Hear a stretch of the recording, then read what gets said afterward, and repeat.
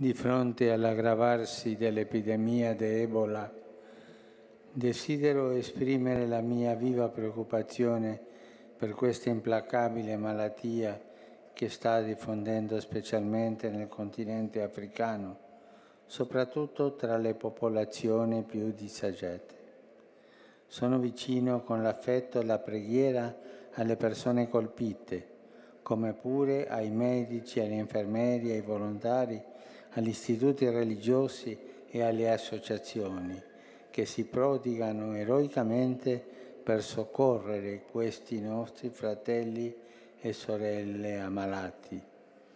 Rinnovo il mio appello affinché la comunità internazionale metta in atto ogni necessario sforzo per debellare questo virus, alleviando concretamente i disagi e le sofferenze di quanti sono così duramente provati.